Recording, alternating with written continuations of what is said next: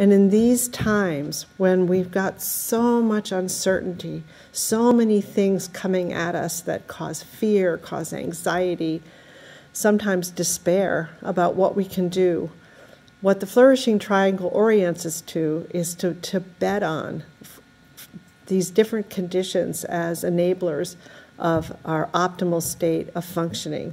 They give us hope, they open up possibilities.